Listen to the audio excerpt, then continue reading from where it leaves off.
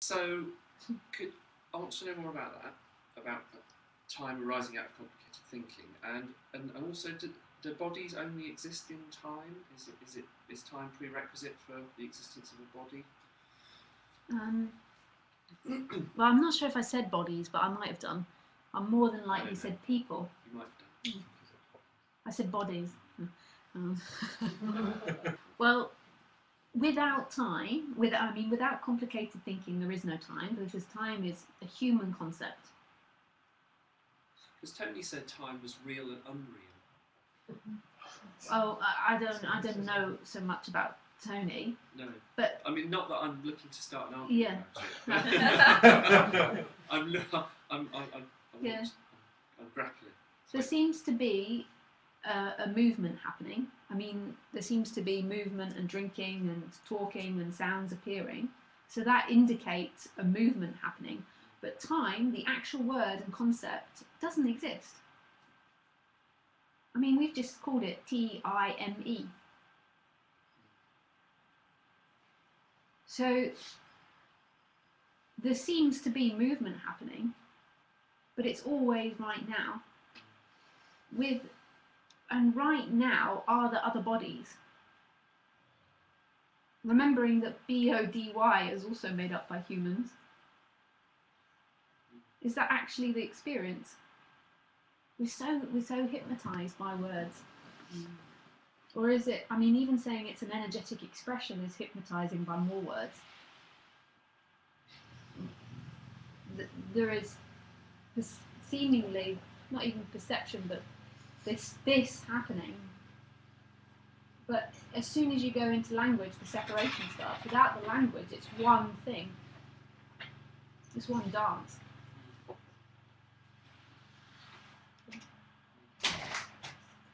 But there does seem to, to be movement happening. And it's pretty funky though. We can break down that movement of how it's happening. It's happening by lots of images and ideas. Yeah. There's for sure this not moving side as well.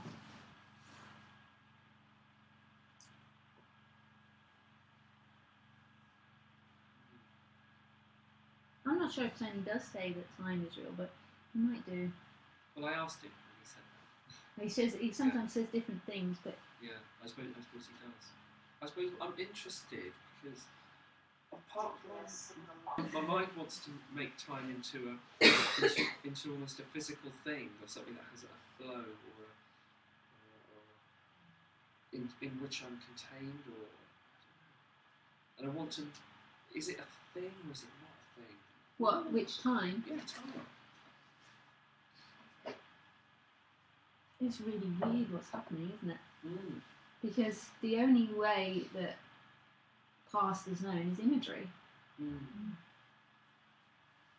and future is known as imagery and thoughts and words, maybe. Mm. The only certainty is what's actually happening. Yeah. I think Tony means that time exists for the person. For the person, for the, the thinking person, there seems to be a concrete, concrete concretization the time Yeah. because there's a reference to memory and there's projecting into future. Future. Just thought. But when that person is no longer, all there is is this, and then and this has no reference to past or future. So in that there is no time. It's like an ever-breaking wave that never that never breaks. It's constantly moving, but it's not going anywhere either. That's what I understand. Because I, I think I was here yesterday. I, I believe that I, I was here yesterday in the past and I sat over there.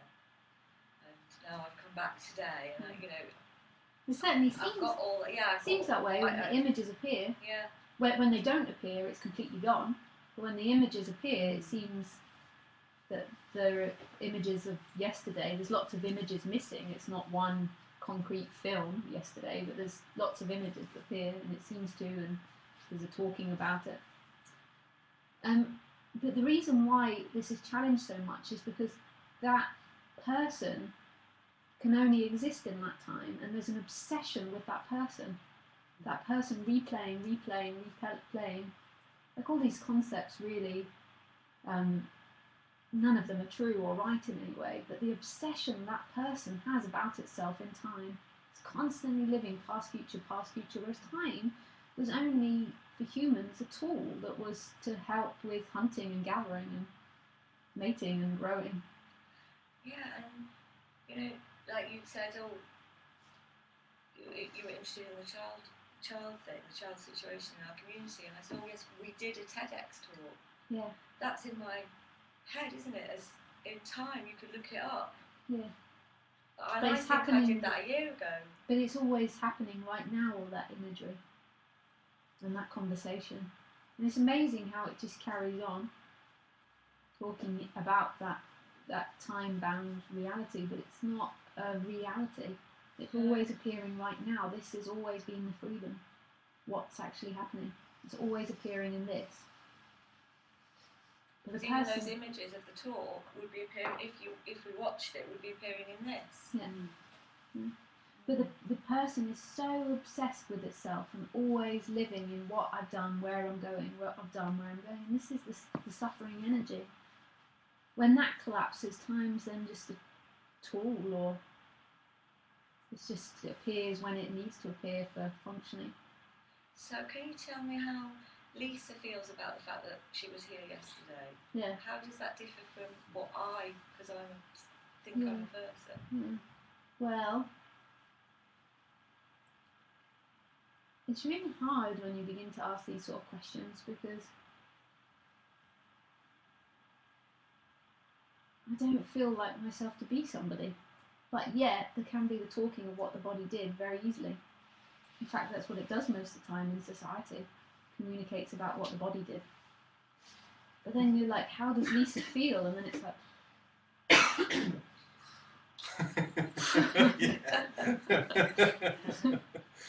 like who? Yeah. But the body can be described quite easily. It's like how are you question. Hmm. Whew, you just say yes, good, thank you. but that's really confusing. How are you? What do you refer yourself as? A feeling or an emotion or a hmm. any idea? But the body, the talking about the body does is very easy. The body did this, the body did that. Sometimes it's forgetful and misses things, but it's a very easy thing. But when you start asking about how do you feel or how do you relate to it, it's like, Because the you isn't relating. there's just seems to have been this part that's claiming things that's fallen away that thought that it was relating to the world that thought that it was something or something that knew things about itself was constantly i suppose looking at itself was constantly projecting an image of me in relationship with others or me doing this and replaying these stories. And it, it's kind of energetic very energetical. And it feels like it's coming from here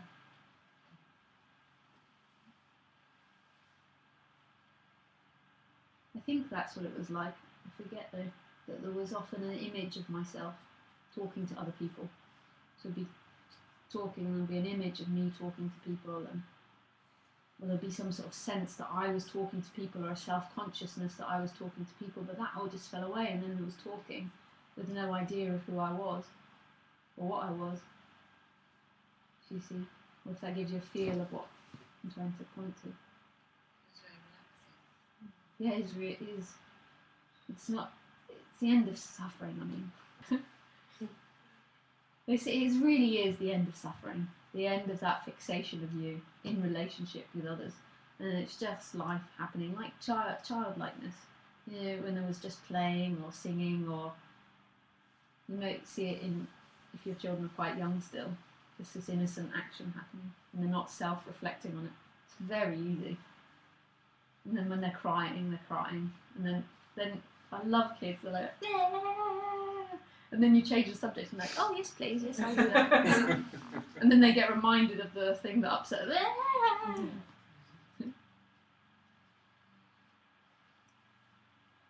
and then it becomes really intimate. Everything is intimate because there's not someone separating out anything anymore. There's an intimacy with everything, like you're watching your kids. And then there's crying, there's full on crying, there's nothing else but crying. and then there's shouting, there's just shouting.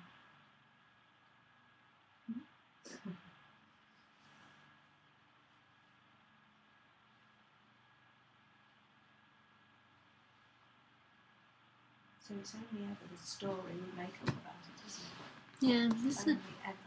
It's not quite you making up, you are in the making up. Right, yeah, yeah, it's just coming Yeah. through as a story or whatever. and it's it kind of gives a I forget though it gives an energetic pull that makes it feel like this is really happening and there's somebody at the center of it all in relationship with it mm. but actually you know how we were doing that center thing yesterday there's just emptiness there's not actually somebody that's in there Mm.